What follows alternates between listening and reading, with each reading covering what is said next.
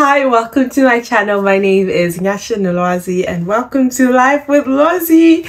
Um, that is not our usual intro, but um, welcome, welcome. How, hello, Bazalwane, how we, how we, and if you're new on my channel, welcome to the family. Please do join, and it's lovely here. Good Nandi Lapa. My name is Nyasha, as I've said, and I'm 23 and a lover of all things money. Yes, you heard it, a lover of all things money.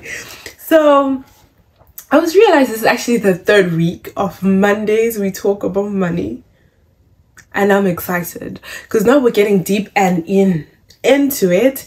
And I'm excited to go in with all of us and everyone please do share with your mom share with your parents share with your siblings share with everyone you know. It's important for us to all have a relationship with money. And this week as you can tell from the caption the topic is the reason you don't know where your money is going. Now don't we all feel i think at some stage we've all felt like someone else has your bank account details surely because things are just not making sense. They're not making sense and then you realize at the end of the day that actually, nah, that was me. The other day I decided that ah, I'm gonna spoil myself. The other day I decided, oh, this shoe seems affordable. It's on the sale. It used to be 50 pounds, it's 35 now, it's on the sale. Hmm. Some of these reasons are the reasons why we don't know where our money is going. Is because we do not plan for our money.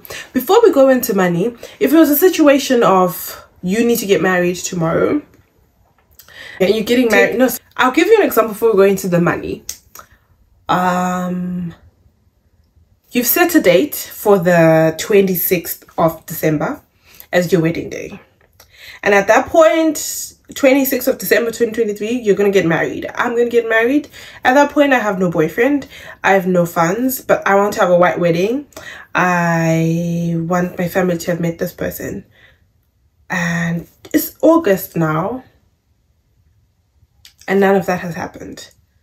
Is there a chance that this will happen if I just stay and cross my fingers and be like, the 26th is the is my is my wedding and you don't do anything about it? Chances are the 26th will come and pass. And maybe you'd have gotten a boyfriend, maybe you haven't, or you know, it's leaving a lot of things unplanned. I'm so sorry for the echo. I will try and get a mic soon. I realized because I like the setup here than more than in my room. So we might use this room more often. So yeah, don't worry. So with the example I've just given, do you think that is going to be possible for that wedding to be the dream, that wedding to be amazing if you do not start planning for it? So exactly the way we would want to plan for it, we need to find the man, need to find the money. We need to start planning how are we how do we want our things in at the wedding? We need to introduce each other to our families let them know these things. These are plans. And with our money we should do the same. We should plan for our money. And what is planning? That is budgeting. Because i actually have a definition of what budgeting is. It is um the creating a plan to how you spend your money. Because the money that you get from your pay from whatever whichever ways you get money, it's your money. You need to plan for it because if you don't plan for it, I will emphasize this every single week if I have to. If you don't plan for the money, we will plan for your money and you'll be shocked every single time you open your account and you find that you have no money and you do not know where it's gone. Because the rest of us, we've got a lot of plans and we will use that money with you not really noticing that oh that's where my money is going so it is important and the answer, one of the reasons you do not know where your money is going is because you are not budgeting for your money. You're not budgeting for that money, so you're just waiting.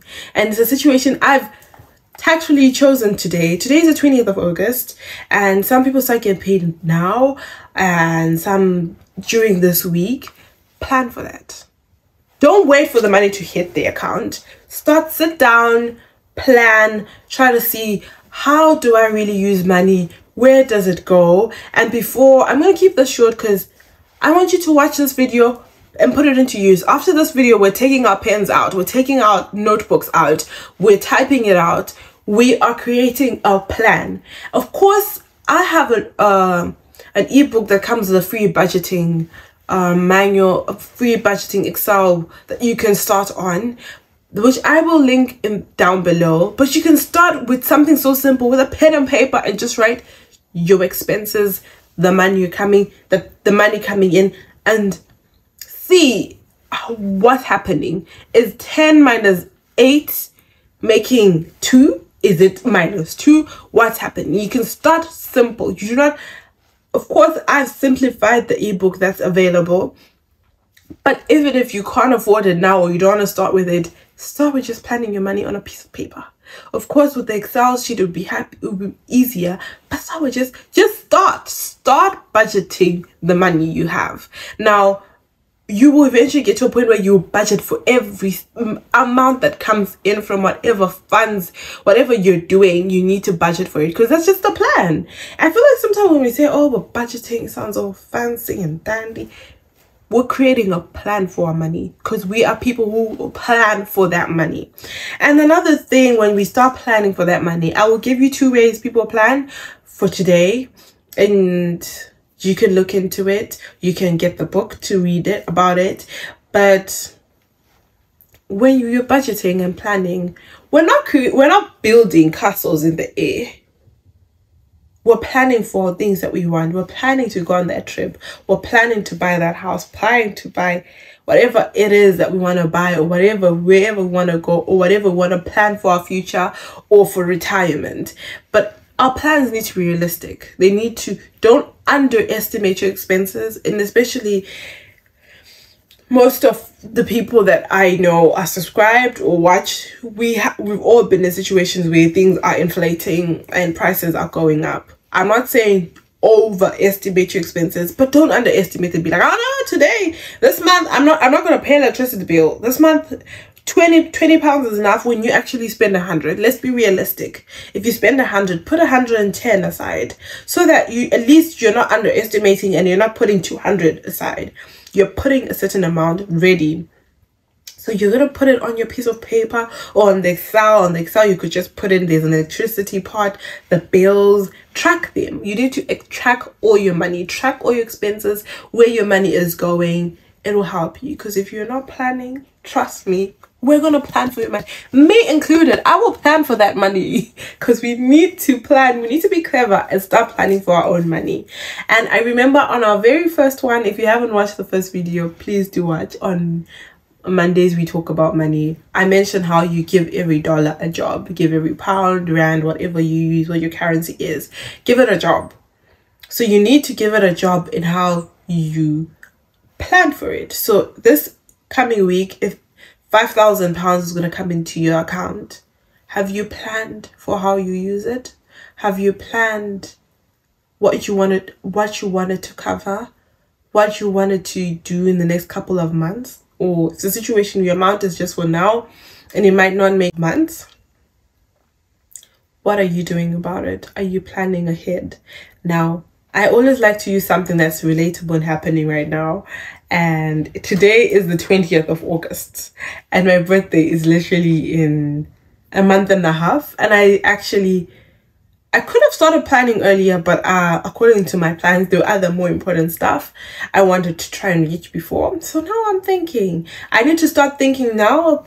Bear in mind my birthday is in October. I've started planning in the amount that is going to come in also this week because I will be paid this week.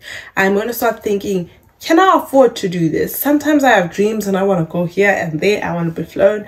Where can I be? Can I do this for my birthday? Can I do this for my birthday? Am I planning accordingly? Is that budgeting?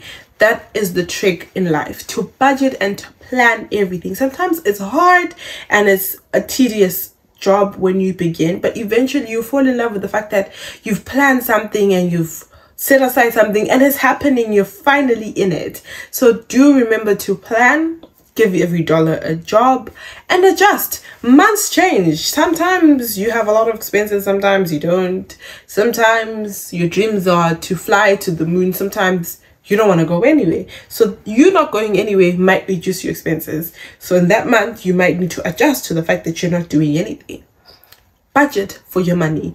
I cannot emphasize this more importantly. This week we are all budgeting for that paycheck. We're budgeting for whatever money is going to come in. We're going to be the people that know where our money is gone. We worked hard for this money. Let us budget for it. So before I leave, I'm going to mention two types of budgeting ways, ways you could budget. And it's the 50 30 20 rule and the 70 20 10 rule. With the 50 30 20 50 30 20 rule 50% of whatever amount your comes in we'll use i'm going to use example of a salary. Of your salary 15% will go to your needs. That is the groceries. You have to also when you sit down and you've written down all your expenses for the month see which ones are a need the things that you can't live without. That's what a need is something you can't live without. Maybe you can live without a brand new shoe. Maybe you can't because that's the only shoe your shoe that you always wear is torn. You need to write down all your needs electricity bill rent that is 50 percent. And 30 percent for your wants oh i would love honestly i i would say my want for this coming month i would love to take myself somewhere and just rest. So i need to start thinking where am i going with my 30 percent? Those are ones i would love a, a brand new outfit for my birthday. Those are ones because i want to start planning for it now. And 20 percent on savings. Savings will always be there now it depends. Some people end up splitting the 20% to 10% savings and 10% investments. You can start doing that, but we haven't gotten there. Let's just start with the easy. 50% your needs, 30% your wants, 20% your savings. Sometimes it's not possible. It might not be possible for you to do it in that manner, which we'll talk about after I talk about the second way. You can use the 70, 20, 10. Now the 70 20 10 is your monthly expenses and all your I would say it's still the needs and everything else that comes sorry. I'm looking down because I'm looking at the make it happen book. So the 70 20 10 70% is the monthly expenses and all the things that you need to take care of this month. Your water bill, your rent, that's 70%. And then 20% is your savings and 10 is for giving, which is really important. You need to give as much as we spend and we receive. So in this manner, I know sometimes it's not as easy to say 50% is for expenses. Sometimes our expenses are more than 50%. Sometimes we might need to use a 70% way. 70% of my income, I have to pay rent, I have to pay bills, I have to send money home, or I have to help with the family. That's your 70%. 20% of the savings, I would even go in further and try reduce it. Not reduce it, but split it in a situation if give yourself even 1% or 2%, something to spoil yourself.